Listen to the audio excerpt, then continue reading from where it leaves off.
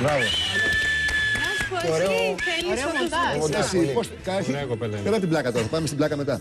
Το μοντάζ, αυτό το ένα, το άλλο, το, την άλλη που μπήκε μέσα. Ναι, κυρίως μόνος μου τα κάνω όλα. Σοβαρά. Δεν σου τα λέω. Με στημένη κάμερα. Αυτή ήταν. Ναι, με στημένη ε, κάμερα. Τη βάζω εγώ και γράφω μόνος μου. Και μοντάρω μόνος μου. Και Και μοντάζ έχω μόνος σου. και δύο παιδιά για μουσική παραγωγή. Ο Ράσντολ και ένας άλλος που δίνει 3D objects και τα.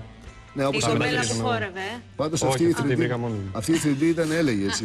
Ε, Αυτή που έβγαλες η η κοπέλα. Ναι. Καλή ήταν. φίλη σου είναι. Όχι, όχι. Φίλη μου εικονική.